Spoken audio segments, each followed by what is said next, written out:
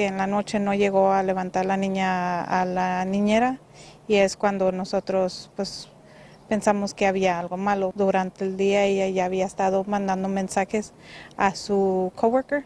Alguien la estaba persiguiendo. Un día después que desapareció María Jiménez, quien trabaja en un buro de abogados como paralegal, apareció su carro a seis bloques de su residencia.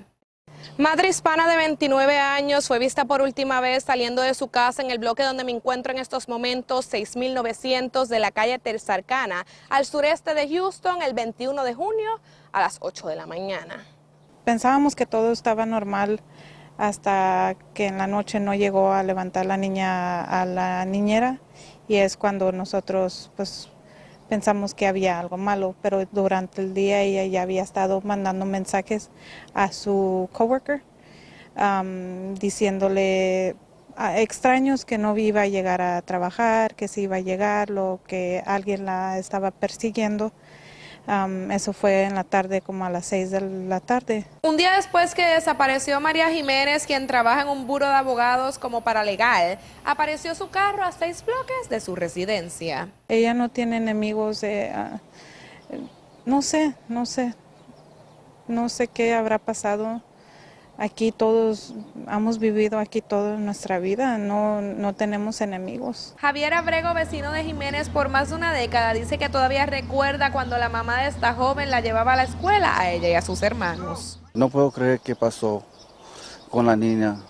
Uh, aquí estamos uh, viendo, uh, yo tengo cámaras acá afuera, yo cuido el, barrio aquí aquí estamos aquí a cuidar a todos. Cámaras que revisó y dijo no encontrar nada fuera de lo normal.